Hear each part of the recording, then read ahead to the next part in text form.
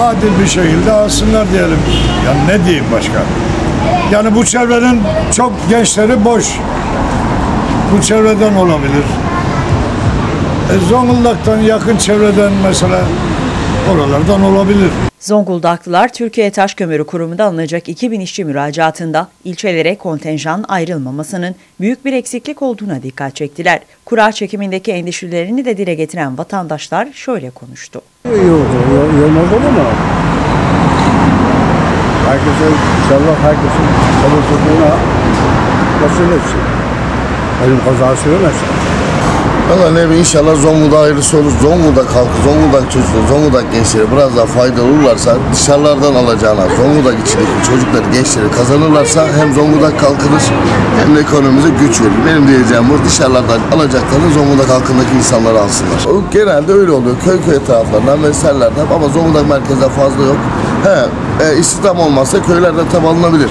Bartın'dan geliyor, Devrek'ten geliyor, Gökçeada'dan geliyor ama Zonguldak merkezi insanlara çok fazla şans çıkmıyor. Yani 100 kişiden 10 kişiye belki çıkıyor ama genel olarak Zonguldak halkını düşürürlerse hem Zonguldak merkeze ekonomiye destek gelir hem de bir kalkınma olur diye düşünüyoruz. Bir ama Zonguldak merkezi 100 tanınıyorsa oraya 10-15 açılması lazım. İlla olmayacak diye bir şey değil. Kontenjan düşük olması lazım. Merkezden çok ilçelerin az olması lazım.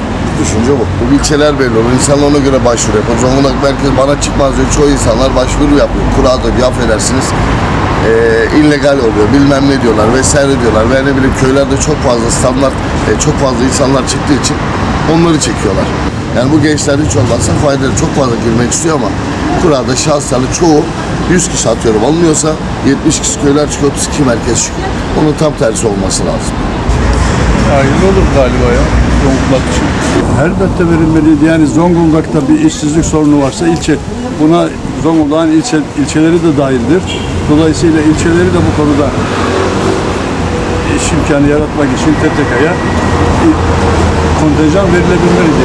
Ancak Türkiye'deki bu özellikle TTK olsun veya diğer kamu kuruluşları bu işçi alma vaatleri, sözleri tamamen siyasidir. Tamamen siyasi yatırım. işte yerel seçimlere dönük bir siyasi vaat olarak görüyorum.